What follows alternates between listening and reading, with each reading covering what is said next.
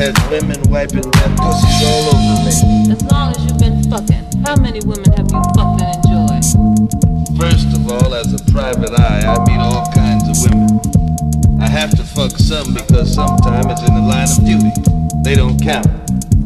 My mother once told me that a man would fuck a snake if you hold his head.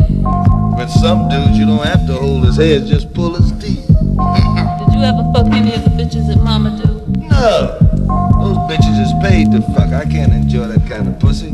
I'd rather beg for it. I had a dude beg me for some pussy. When I made up my mind to give it to him, he couldn't fuck. His dick couldn't get hard. I'm talking all this shit. I wanna fuck.